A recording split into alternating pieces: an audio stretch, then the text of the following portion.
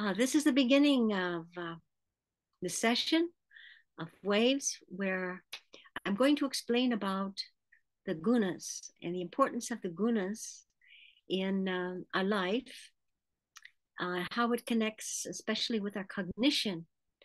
Well, my name is uh, Dr. Pratibha Gramann. I'm a mental health counselor and I do consultations.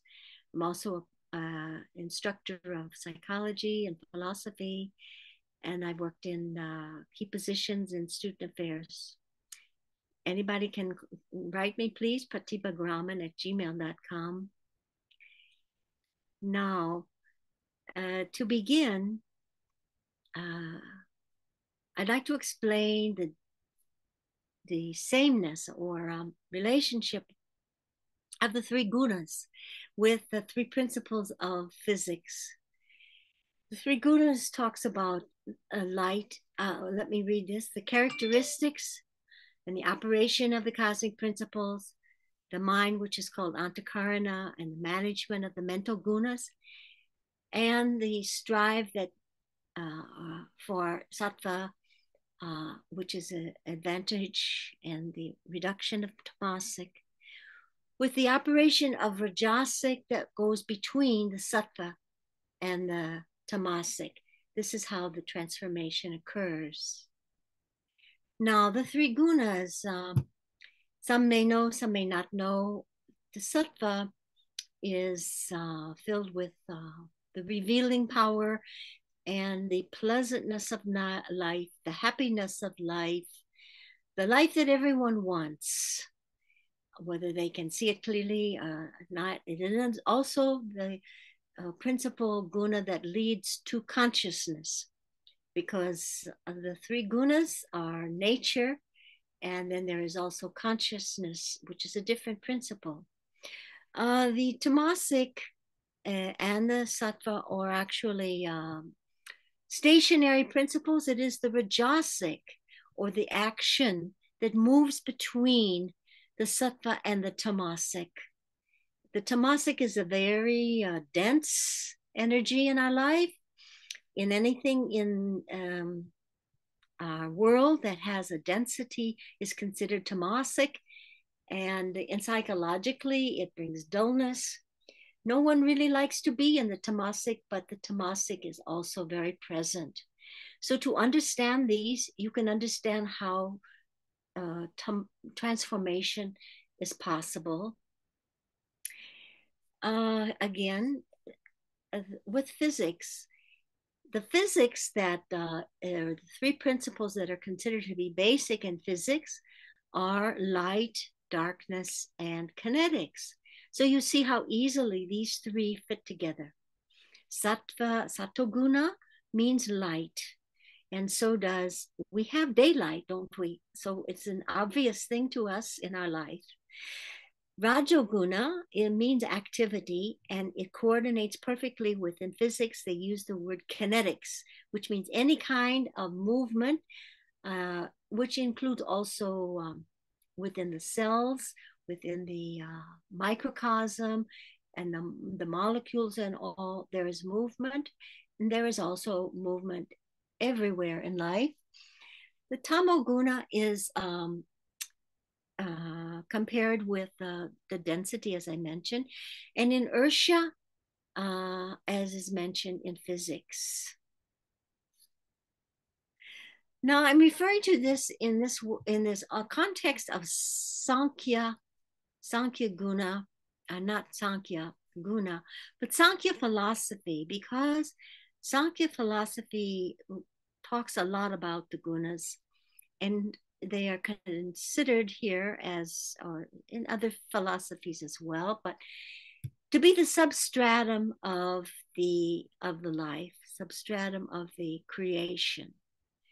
And just what we've already mentioned, I've already mentioned about the Sattva Rajas Tamas, these are considered as the substratum. To describe it a little bit in history, uh, say 2,700 years ago, a person by the name of Kapil or Kapila is given credit for having written the Sankhya philosophy, the Sankhya cosmology, formed the basis also of the teachings that Gautam the Buddha used. So Sankhya further uh, describes these three gunas uh, as nature, uh, or the word prakriti is used. And then there's another cosmic principle called purusha, and it is the same as consciousness. So they're separate. This is the thing that is uh, uh, to be understood here. They are separate and they're both eternal principles. They are eternal principles. And they are the principle, or maybe you can say the only eternal principles, really in the highest form that there is. The uh, combination, so to speak, that makes nature or prakriti. So the three gunas are what really actually make up prakriti. There is nothing different. I mean, these are the larger words. Now, just to mention a little bit about how it works, but I'm not going deeply into this. So let's say you you're a person who believes, uh, who lives with the idea that there is life and rebirth. Well, there is also final liberation. If you feel this way, then from innumerable births, um, then the individual soul uh, finally, or with one's own actions and intent, and works on their their soul or uh, they may come to cross the prakriti um, and into the consciousness permanently. This is what is meant by then there will be no more birth. So it is an experience beyond the mind that is, you could say, permitted by Prakriti after innumerable births, when the three gunas, sattva, rajas, and tamas, come to an equanimity and the soul is immersed into the light of sattva. This could be a, another discussion. Now, uh, the way they flow together, this is what really makes life happen. At any particular time, we have, as we said, the satellite, rajasic kinetics, tamasic density, one and the same. They continuously flow together in varying proportions. This is always the case. There is never uh, a unity of them while life is going on. There is always only this motion. There's the sattva at one end, so to speak, and the tamasic in between is the continual movement of the action. And you can see life this way if you can reflect on it. The planets, trees, all forms of human, all forms of the human mind contain the same atoms and the molecules of nature's substratum. Now, the form itself determines the conscious intelligence of the form. So, the consciousness, its role, it enlivens the material form. Uh, that is the main thing that happens. So, all the work has to be done by the material, by even oneself. It is the consciousness that one wishes, that prays for, uh, that enlivens, but we have to do the work as we are part of uh, the nature.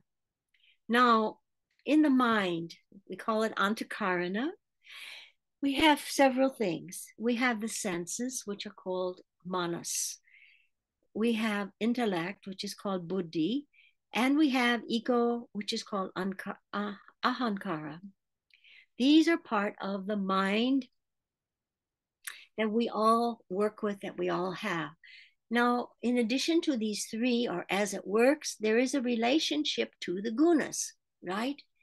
This is the chitta. This is the chitta.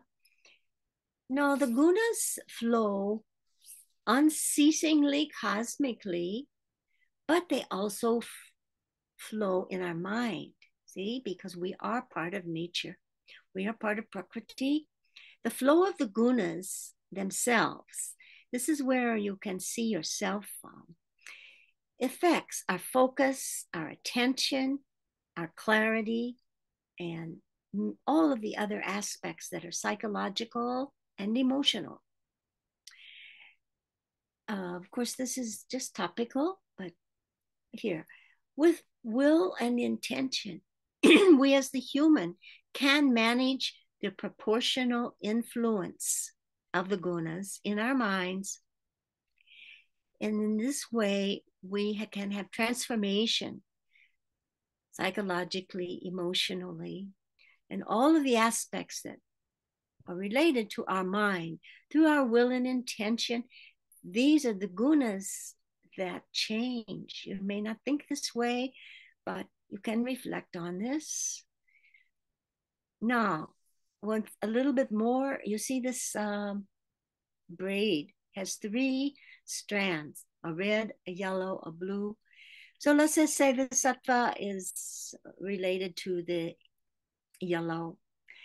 Um, it could sometimes some people use the red this way, but it's intel it's our intelligibility in our mind. Huh? Now the sattva is the activity, so you might use the red for that. And then, as I had explained before, the tamasic means inertia or dullness. So the uh, thing to understand or remember is that this flow never stops. It's continual as long as life goes on, as long as our planet goes on. This flow continues. It's and these three are always together. They are never separate. So at any one time, one of these uh, predominates, dominates, and the other two support. Let's just take an example. I'll say this first. The proportions continually change too. So within your mind, the gunas are coming through, but it's our mind like to hold on to something. Let's say um, you have a beautiful picture in your mind. Um, and um, uh, or there's a beautiful picture on the wall and you're contemplating it, you're enjoying it. But uh, all of a sudden the lights go out, then that picture in your mind or in the on the wall changes, right? Uh, there is always there is always change, even to the degree, let's say you are feeling love about something or someone, but moment to moment, there's a little tiny bit of differences. Even they're indiscernible. It's just that life is like that. So we have to, in our mind, want to stay toward the tama, uh, toward the sattva and the uh, rajasic together, and not fall into the and the deep pool of tamasic let's say there's a lot of oversleeping that uh, you are experiencing. There's a lot of dullness. You think you're going to be so sharp when you uh, wake up, even though you've ha- you've had such a good sleep. It's too much. If it's too much, then you have a dullness in your mind, don't you? It's not as sharp as you thought it would be. So there is a lot to consider in proportions of the way these gunas work cosmically, but in our minds, we need to look at them in our life. So the Rajasic is really the transformational agent because it continually pulls between sattva and tamas. And everybody, whether they can contemplate, once the sattva, this is where you have a pleasant life, you have happiness, you have sharpness. And life is is good. Now, um, more about transformation. Well, it is the outcome of the psychophysiological process when sattva is dominant and the rajas support each other. The best aspect that the tamasic has is a stability, right? Because there's more lightness in the um, sattva, but there's uh, easily too much heaviness and density and dullness and all the things that we and depression. Depression is if it's um is definitely a dominance of the um of the tamasic right? What do you have to do to get out of that? You have to increase the sattva by a new intention new things that you want to do. Even helpfulness is a great idea that in its action moves away from the clinginess that results in the tamasic and it increases the sattva. So, in this case, the reduction of pain occurs and the increase of happiness and a closer relationship with the other uh, principle, consciousness, the enlivening principle of consciousness. There is a closer relationship when the sattva is highest. So I made a, another example here of the sleep. It's tamasic by nature, but it can be dominated by also in a complex way. There are three ways you can have different kind of sleep. I have it here. If it's dominated by sattva, you will get a deep sleep uh, and you will feel good when you awaken, like you have a good restful sleep.